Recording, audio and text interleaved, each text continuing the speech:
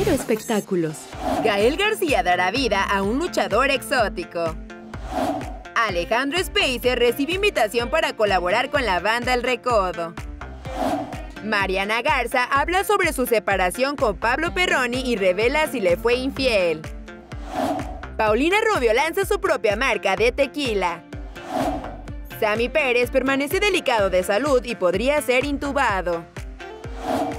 Britney Spears anuncia que no volverá a los escenarios hasta que recupere su libertad.